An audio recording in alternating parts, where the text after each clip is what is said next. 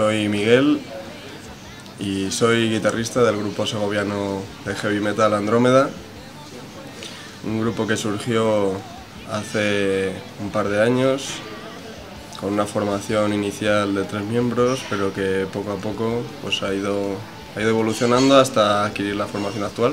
Actualmente somos cinco, dos guitarristas, un bajista, un batería y una cantante, Irene.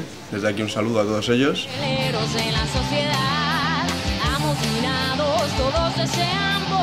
Bueno, más que un disco debería decir que es una especie de primera demo. Nosotros lo, lo llamamos EP. Son seis canciones, las seis primeras que compusimos.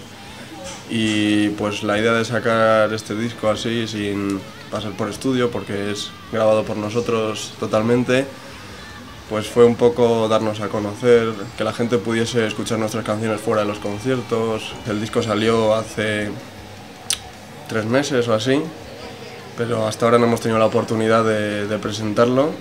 Y este sábado, junto con Aeresian de Ciudad Real y TNB de Valladolid, otros dos grupos también de Heavy, pues vamos a darlo a conocer.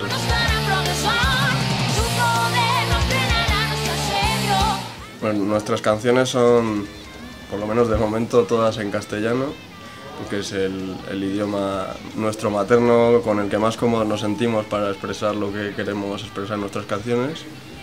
Pero en los conciertos también solemos tocar versiones de grupos extranjeros en inglés. Pues bueno, la verdad es que la temática es bastante variada.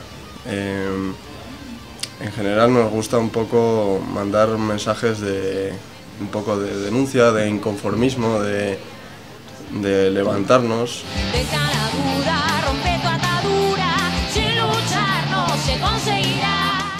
Creo que los fans de estos estilos son bastante fieles en general y realmente la música para ellos es muy importante. Yo creo que otros tipos de música, más comercial, sin querer faltar al respeto, ¿no? pero creo que muchas veces van por modas y cuando pasa la moda se olvida heavy metal, aunque siempre ha sido minoritario, yo creo que tiene una corriente de seguidores bastante fieles que, que hacen que perdure en el tiempo. Nada, invitar a todo el mundo al concierto del día 21, que nosotros en los directos lo damos todo y, bueno, esperemos que, vaya toda la gente que pueda y que lo disfrute.